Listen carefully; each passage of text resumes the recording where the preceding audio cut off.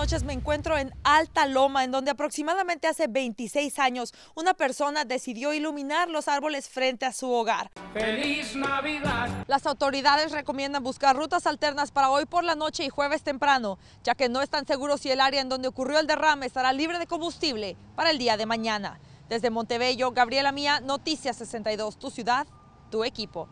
La crisis económica ha impactado de tal manera que las personas han tenido que recurrir a buscar trabajo en diferentes ámbitos laborales.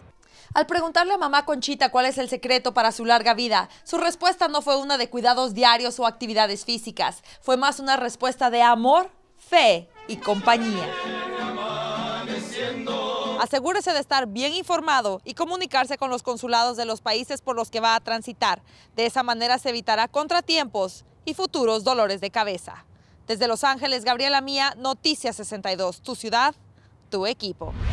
Gracias. Los estudiantes de la Universidad de Riverside volvieron hoy a levantar su voz de protesta, pero esta vez no fue por las colegiaturas, sino por presuntos abusos cometidos por la policía local.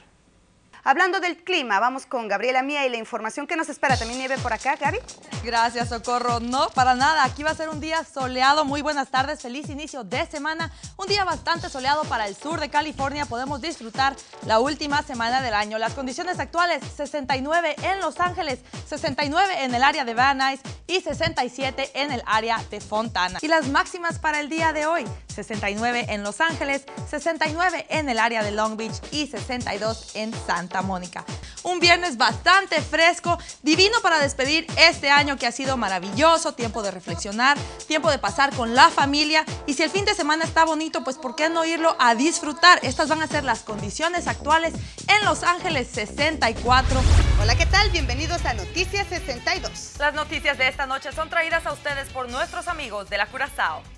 En Noticias del Mundo, informes precedentes de Costa Rica indican que en las últimas semanas se han disparado las ventas de agua dulce.